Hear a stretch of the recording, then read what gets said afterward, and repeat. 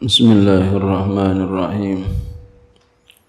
الحمد لله رب العالمين وبه نستعين على أمر الدنيا والدين. والصلاة والسلام على أشرف الأنبياء والمرسلين. سيدنا وحبيبنا وشفيئنا ومولانا محمد وعلى آله وصحبه أجمعين. سبحانك لا علم لنا إلا ما علمتنا. إنك أنت العليم الحكيم ولا حول ولا قوة إلا بالله العلي العظيم أما بعد قال مسلم رحمه الله تعالى وأدام نفع في علم في دارين آمين Wasunnah dan disunnahkan Taswibun akan taswib Taswib itu apa? Ntar kita lihat ya. Ada penjelasannya Li azanai subhin. Bagi dua azan subuh. Dua azan subuh. Ini kan ya Ada yang azan waktu Ada yang sebelum waktu. Dua-duanya pakai taswib. Taswib itu wahwa ayyakula ba'da halataini hay alataini yaitu bahwa ia mengatakan setelah hayya alataini as-salatu khairum minan naum. Ya bilang begitu ya setelah hayya ala salat hayya ala salat hayya ala falah hayya ala falah. Ha, bilang itu. As-salatu khairum minan naum. Itu sunnah.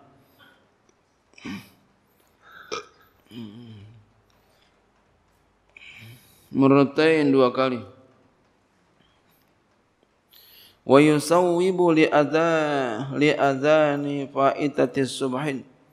Dan ia mentaswib juga ya dan dia mentaswibkan untuk azan ya yang luput salat subuh. Jadi salat qada subuh juga ya itu ketika dia mau azan taswib juga ya. Mengkodok subuh wa kuriha li ghairi subhi dan dimakruhkan bagi selain subuh. Jadi hanya subuh aja. Taswib hanya subuh aja. Baik yang hadir maupun yang kodok. Taswib. Wa tarji'un. Dan tarji' bi ayatiya bi kalimatai syahadataini marataini sirran bi ayatiya dengan bahwa datang ia bi kalimatai syahadataini dengan dua kalimat syahadat maratain dua kali sirran hal keadaannya pelan ya sir. Ai maksudnya bihaisu dengan sekira yasma'u man qaruba dengan sekira mendengar oleh orang yang dekat minhu darinya.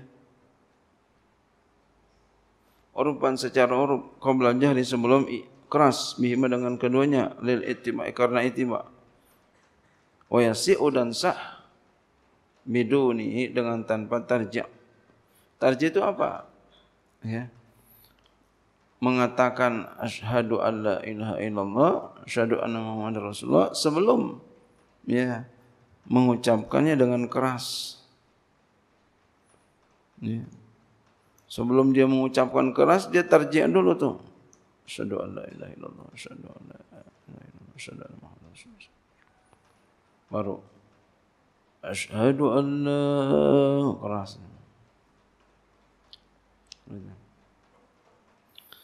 Tapi tadi, tadi dengan sekira orang yang di dekat dia dengar.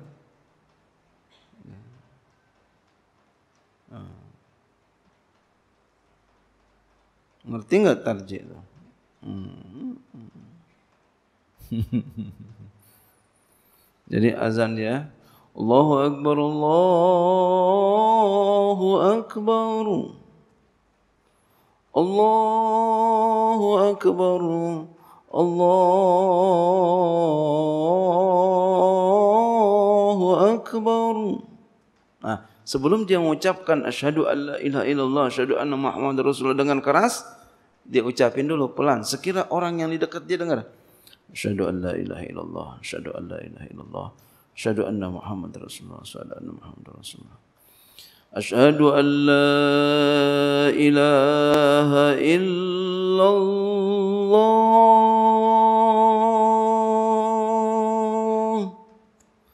أشهد أن لا إله إلا الله.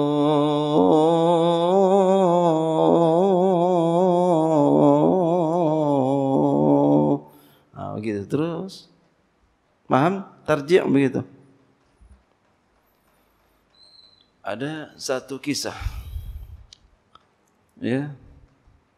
Pintaran muazin daripada khotibnya. Mungkin lupa kali. Ya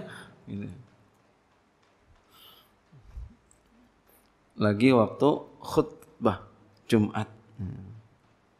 Jadi waktu khutbah Jumat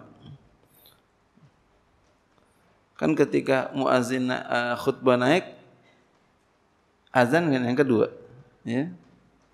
Nah si muazin ini tarjih asyhadu an la ilaha illallah asyhadu an la ilaha illallah asyhadu anna muhammadar rasulullah.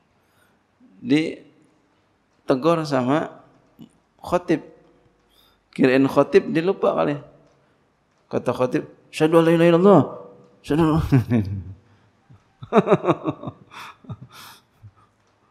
Padahal si muazin lagi terjia. Berarti pintaran yang mana tu? pintaran muazin daripada khotibnya. Begitu kalau azan tu ya. sunnahnya dipakai tuh ya dipakai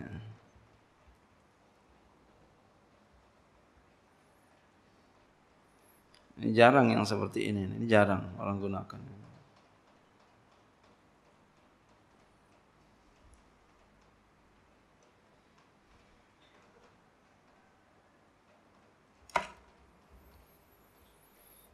Dan sah dengan tanpa terjih enggak pakai terjih juga sah aja. Nah, tapi ya dia enggak dapat sunat. Wa ja'lu musabbi'ataihi bi simakhaihi dan menjadikan ya musabbi'atai dua telunjuknya bi simakhaihi di dua lubang telinganya fil adzani pada waktu azan dunal iqamati tidak qomat ya jadi ininya telunjuknya di lempengan lubang. Telunjuknya lempengan lubang. Kenapa demikian? Li'annahu ajma'u lisauti karena bahwasanya dia lebih menghimpun bagi suara. Alasan itu. Lebih menghimpun bagi suara.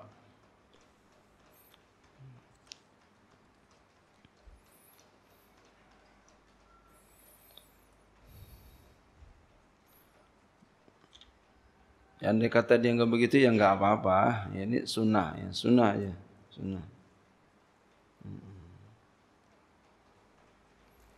Ablagu fi rab'is sautil matlubi fil azani. Ya. Jadi dia lebih maksimal di dalam mengeraskan suara yang dituntut yang dituntut dalam azan.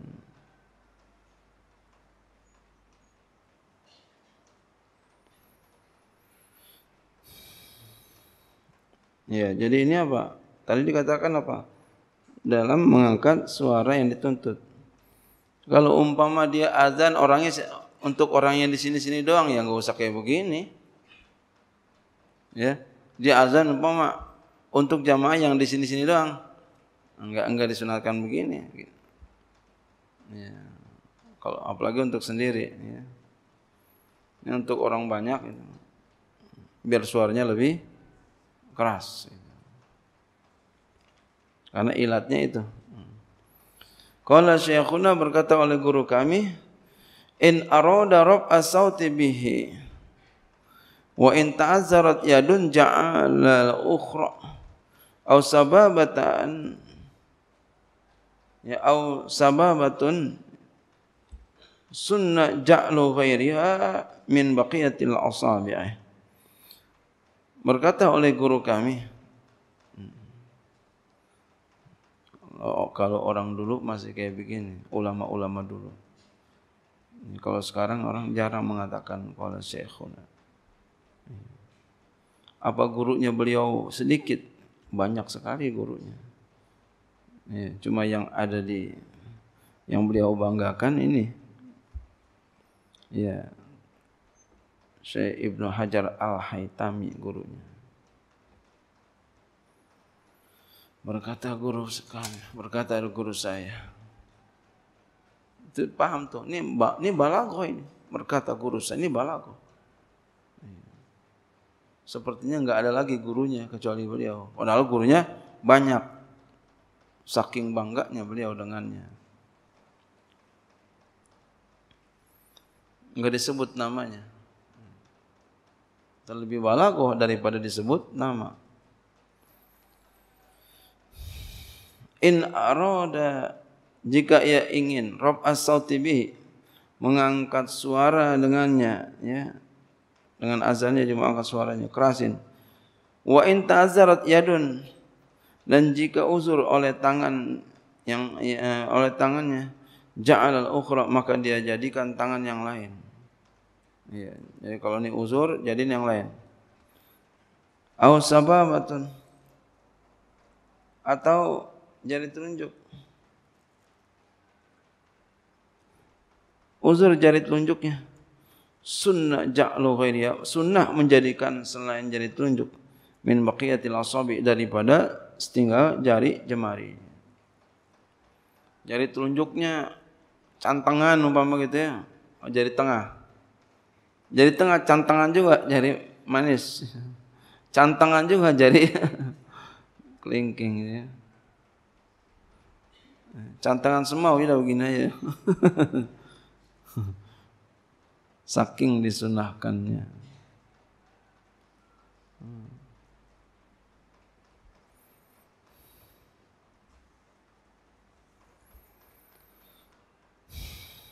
Wasunna